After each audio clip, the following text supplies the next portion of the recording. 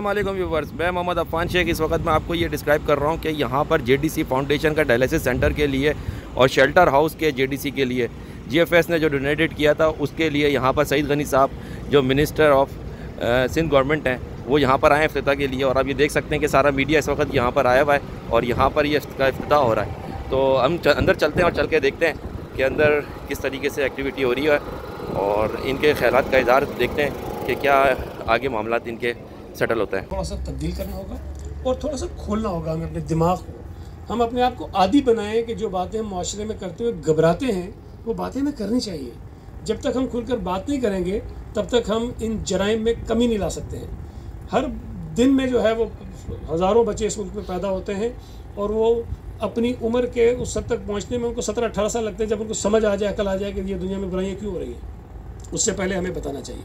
तो मैं ये समझता हूँ कि यहाँ जो इदारे अपना काम कर रहे हैं, वो सब अपनी जगह है, लेकिन इसमें ग्राम को, यहाँ स्कूल्स में पढ़ाने वाले टीचर्स को, कॉलेजेस में पढ़ाने वाले टीचर्स को, जो हमारे और बहुत सारे ऐसे इदारे हैं जिनके आप बच्चों के साथ किसी न किसी तरह का कोई रबता या रब्त होता है, उन सबको बच्चों को आगाही देने के लिए इकदाम करने चाहिए और उसके बगैर हम शायद अपने बच्चों को इन चीज़ों से नहीं रोक सकेंगे। और ये एक माशरती बुराई है इसमें किसी एक फ़र्द को, किसी एक शख्स को, किसी एक ग्रोह को हम ज़िम्मेदारी बना सकते हैं। और अक्सर जो जो मैंने देखे फिगर्स इन किस्म इस किस्म के जो जराइम हैं, उसमें अज़ीज़ अकारब ज़्यादा शामिल होते हैं। जो बहुत बड़ा तनासब है, वो रिश्तेदारों का है, जो करीबी रिश्तेदार होते हैं। बदकिस्मती से वो ये काम कर लेते हैं। लेकिन बहरहाल, अगर आगाही बच्चों को दे दी जाएगी तो शायद वो इस मुसीबत से, इस तकलीफ़ से वो बच सकते हैं, अपने आप को महफूज रख सकते हैं। मैं रोशनी हेल्पलाइन को मुबारकबाद देता हूँ। और मेरी दुआ है कि अल्लाह ताला आपकी मदद करे, आपको आगे बढ़ाए और जिस तरह आप काम कर रहे हैं, आपके काम में मज़ीद इजाफा हो। बतौर हुकूमत सिंध के नुमाइंदे के मैं यहाँ हाज़िर हूँ। अगर आपको कभी भी किसी वक्त भी किसी तरह की हुकूमत सिंध की मदद की ज़रूरत हो या ज़ाती तौर पर जो मेरी हैसियत है, मेरी मदद की ज़रूरत हो तो मुझे बहुत खुशी होगी कि मैं इसमें कोई कंट्रीब्यूट कर सकूँ। आपका बहुत बहुत शुक्रिया।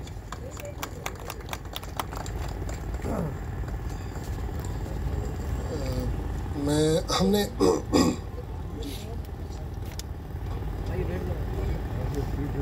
आज बच्चों के आलमी दिन के हवाले से मैं मौके से फ़ायदा उठा रही हूँ। सईद की मौजूदगी का मैं चाहती हूँ कि एंटी बैगरी ड्राइव जो है, वो हम फिर से शुरू करने जा रहे हैं। तो मैं चाहूँगी कि सईद गनी, मैंने हमने तीन, तीनों लैंग्वेज में हमने इसको करवाया है। उर्दू है, इंग्लिश है और सिंधी है। इस वक्त सिंधी के मेरे पास हैं। तो मैं चाह रही हूँ कि सही हम यहीं से शुरू करेंगे न्यू कराची से शुरू करेंगे, आज से ही शुरू करेंगे कि ये यहाँ पोलों पर और अवेयरनेस के लिए लग जाए। भाई, आगे सर जाए प्लीज़ यार है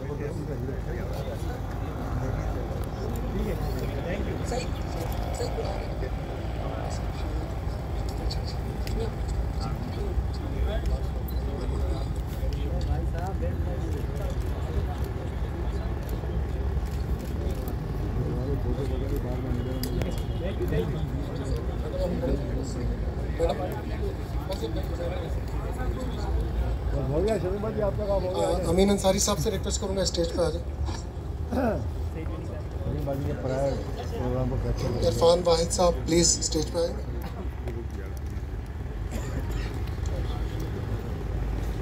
नीचे बैठ के लेना पिक्चर ना मत।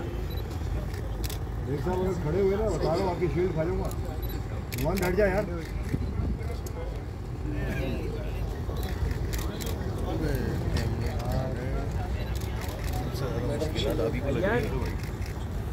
यस सामने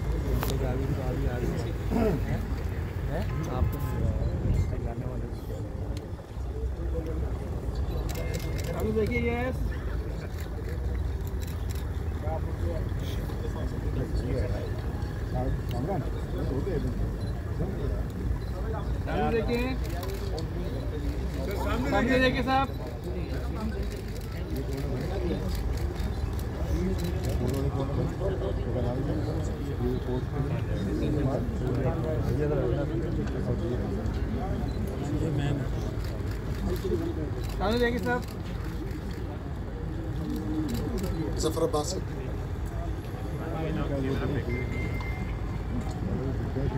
सांगी कैमरा पेन करा देखिए।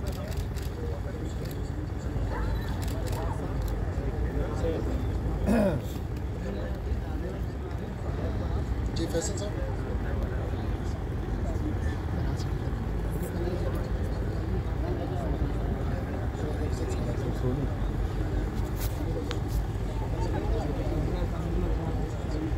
Tamam Degi.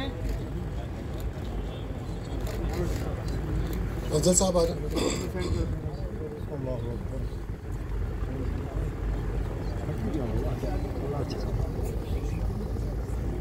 Yes.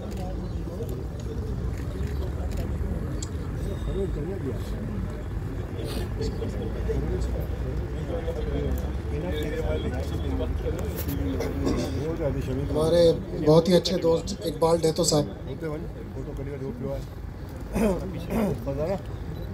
खोल के दिखाना सिंधी वाला लिख कर ही वजह बड़ा दूसरी जावेद कियानी साहब।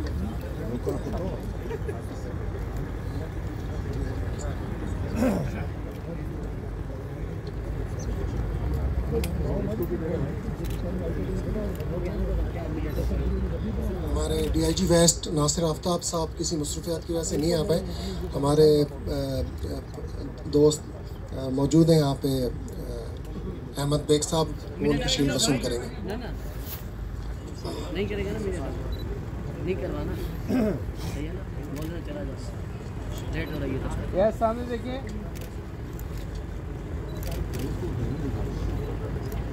जुबेर को काम पे किया? छुट्टी पे? आज अपनी हाँ? इसके बदले मेरे को है ना? है ओ भाई बात करेंगे सर बस हो गया। आप कोई सवाल कर ले तो मैं जवाब दे दूँगा। सर एक सईद गनी साहब। मेरा नाम शेख मोहम्मद नईम है। मैं ये कोऑपरेटिव मार्केट के हवाले से आपसे स्पेशल रिक्वेस्ट करने आया हूँ कि जनाब उसको इंसानी हमदर्दी की बुनियाद पे आप उस पर मुझे कल मेरी बात हुई है कहीं जी, जी। कर रहे हैं बहुत शुक्रिया जनाब आप एक बहुत नेक आदमी है। मैं आपको उस वक्त से जानता हूँ जब आप बिल्कुल जवान थे पहले जरा इनको बात करने आप माशाल्लाह तहजद गुजार थे अच्छा जवानी में भी। मैं गुनहगार आदमी जरा तो इस पर खसूसी तवज्जो दे दें। सर साहब ये बताइएगा आज फिर कल से जो है वो सीएनजी बंद है और सिंध के जो लोग हैं वो जहाँ पे गैस फ्राहम होती है जहाँ से गैस पैदा होती है वो लोग एक बार फिर अजाब में आ गए हैं पेट्रोल की कीमतें भी बढ़ती जा रही है। तो ये क्या कब से लोगों की इस अजाब से जान छूटेगी? सिंध गवर्नमेंट क्या करे इसमें? देखें एक तो मैं समझता हूँ कि सीएनजी बंद होना खुलना एक छोटी बात रह गई है। सीएनजी पे तो आपकी गाड़ियाँ चलती हैं गाड़ियाँ पेट्रोल में भी चला लेती हैं। लेकिन जो सबसे बड़ी मुश्किल इस वक्त पाकिस्तानियों पर आई है वो गैस की बंदिश है। और बड़े अफसोस के साथ कहना पड़ता है कि मेरी उम्र अब पचास साल होने को आई है कुछ महीने बाद हो जाऊँगा। मैंने तो अपनी पचास साल ज़िंदगी में कभी नहीं देखा कि गैस आपको सुबह नाश्ते के लिए मिलेगी दोपहर में खाने के लिए मिलेगी और रात को खाने के लिए मिलेगी। ये पहली दफ़ा हो रहा है। और इस पर सोने पर सुहागा ये है कि अगर आपके पास दूसरे अल्टरनेट क्या है आप सिलेंडर मंगा लेते हैं एलपीजी का आप लकड़ियाँ लेके इस्तेमाल कर लेते हैं। एलपीजी भी महँगी हो गई है लकड़ियाँ भी महँगी हो रही हैं। तो इसका मतलब यह है कि आप गैस आपको मिलेगी नहीं। एलपीजी आपने लेनी है तो महँगी लेनी है। लकड़ियों पे अगर चूल्हा जलाना है तो वो भी आपको ज़्यादा पैसे दे के ही लेनी है ये बदकिस्मती हमारी जो है बस क्या मैं कह सकता हूँ कि मिस मैनेजमेंट इतनी ज़्यादा है इस वक्त इस नाइल नालायक हुकूमत की कि पहले तो हम आटे की कीमतों को रो रहे थे, चीनी की कीमतों को रो रहे थे, डीजल, पेट्रोल की कीमतों को रो रहे थे, बिजली, गैस महँगी हो गई। अब पैसे ज़्यादा दे के भी आपको मैसर नहीं है। अब मेरा ख्याल है कि वो पत्थर का ज़माना दोबारा आ जाएगा कि पत्थरों पे आप जो है वो कोशिश करो कि चूल्हे जलाएँ अपने। और मैं समझता हूँ कि कराची के लोग तो शायद थोड़े से इसलिए खुशकस्मत है कि सर्दी बहुत ज़्यादा नहीं होती। आपको हीटर जलाने की ज़रूरत नहीं पड़ती। थोड़े बहुत गीज़र की ज़रूरत पड़ती है वो आप पत्थरों पे अपना पानी गर्म करके गुजारा कर लेंगे। लेकिन पाकिस्तान के वो इलाके जहाँ पर मुस्तकिल सर्दी पड़ती है चार चार दिनों के लिए वहाँ अगर गैस नहीं होगी वहाँ लोग हीटर नहीं चला सकेंगे वहाँ लोग गीज़र नहीं चलेंगे। तो अब तस्वुर करें कि वो ज़िंदगी अपनी कैसे गुजारेंगे मैं ये समझता हूँ कि ये बहुत बड़ा जुल्म है और सिर्फ़ और सिर्फ़ मिस मैनेजमेंट की वजह से। आपको याद होगा कि कुछ अर्सा पहले जब गैस का बहरान हुआ, से तकरीबन डेढ़ दो साल पहले तो वफाकी हुकूमत ने कहा कि सिंध हुकूमत हमें गैस की लाइन डालने की इजाज़त नहीं दे रही, इसकी वजह से गैस का बहरान है। और हम जो है, वो चौदह बुला सकते थे, जो ये आते हैं, शिप्स आते हैं इनके एलएनजी के, वो अगर गैस की लाइन होती तो हम चौदह मंगा लेते और वो कमी पूरी हो जाती। फिर उसके कुछ महीनों बाद उन्होंने माना कि गैस की लाइन हमने डाल दी है और अब हम जो जो टर्मिनल पर जितनी कैपेसिटी है कि चौदह शिप्स हमारे आएँगे और उसके बाद ख़त्म हो जाएगी। आज उस गैस की लाइन को डले हुए भी दो साल हो गए हैं और नए जो इनके वफाकी वज़ीर हैं वो ये फरमाते हैं कि हमारे पास तो चौदह शिफ्ट मंगाने की गुंजाइश ही नहीं है। अच्छा अब बात। यह है कि बार बार अपनी नालायकियों और नायलियों की ज़िम्मेदारी सुबह सिंध पे डालते हैं। मैंने गैस का आपको बता दिया। कोविड में हुआ तो बोला सिंध हुकूमत जिम्मेदार। गंदम का बहरान हुआ तो बोला सिंध हुकूमत जिम्मेदार। चीनी की कीमतें बढ़ गई तो बोला सिंध हुकूमत जिम्मेदार। पेट्रोल की शॉर्टेज हो गई तो बोला सिंध हुकूमत जिम्मेदार। मतलब अब कितना लोगों को बेवकूफ़ बनाने की कोशिश करेंगे कि एक सूबाई हुकूमत जो ना पेट्रोल की कीमतों को कंट्रोल कवर करती है, जो ना गंदम की प्रोडक्शन को देखती है, क्योंकि सिंध में गंदम बहुत कम होती है, पंजाब में ज़्यादा होती है। चीनी की पैदावार भी पंजाब में ज़्यादा होती है सिंध में कम होती है। अगर इस किस्म की तमाम जिम्मेदारियाँ जो उनकी नालायकियों की वजह से पैदा होती हैं वो आप किसी सूबाई हुकूमत पर डाल देंगे तो आप ये बात मान लें कि अगर सिंध हुकूमत for the sake of the argument कह रहा हूँ अगर सिंध हुकूमत आपको मफलूज कर सकती है तो फिर आप नालायक तरीन लोग हैं और हम लायक तरीन लोग हैं। अच्छा ये बताइएगा आज बच्चों का आलमी दिन है और खैरपुर में एक वाक़ पेश आया है आठ साल बच्चे का मर्डर हुआ है उसके साथ ज्यादती हुई है। तो ये वाक़ कब सिंध में कम हो गए और सिंध गवर्नमेंट इस पर क्या करे देखिए मैंने अभी अर्ज़ किया कि ये वाक़ात किसी एक शहर, किसी एक सूबे तक महदूद नहीं है।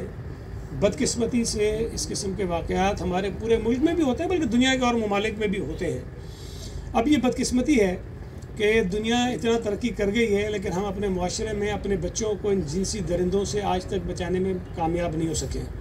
अब इसके लिए जो मैंने अभी बात कही थी कि हमें थोड़ा सा अपने जहन को कुशादा करना पड़ेगा, और कुछ बातें जो हम शायद कहते हुए घबराते हैं, डरते हैं हमें खुलकर बातें करनी पड़ेंगी ताकि हम लोगों को बता सकें बच्चों को ख़ास तौर पे बता सकें कि ये सारी चीज़ें क्यों हो रही हैं और उसको रोकने का क्या तरीक़ेकार है। वरना ज़ाहिर है कि कोई मैं खड़े होकर नहीं कह सकता हूँ जी कल से यहाँ कुछ नहीं होगा। ये ऐसी चीज़ें हैं जो किसी हुकूमत या किसी एक इदारे के बस में नहीं है। हुकूमत और इदारा तो उस वक्त उनको पता चलता है जब ये जुर्म हो जाता है। हमें तो इस जुर्म को होने से पहले रोकने की कोशिशें करनी है. सर एक सवाल करना है मेरे को। जी भाई। ये सर जिस तरह जीएफएस बिल्डर वालों ने और जेडीसी वालों ने शेल्टर हाउस को अहमियत दी है और इसकी ज़रूरत का एहसास करते हुए उन्होंने यहाँ पे लॉन्चिंग की है क्या सिंध गवर्नमेंट को भी इस चीज़ का एहसास होता है कि वो इस तरह के शेल्टर हाउस बनाएगी? अभी मेरा ख्याल है कि हमारी एम पी साहिबा जो चाइल्ड प्रोटेक्शन अथॉरिटी की चेयरपर्सन है उन्होंने इस पर तफसील से बताया और हम इस पर काम कर रहे हैं। ठीक है sir thank you thank you sir thank you sir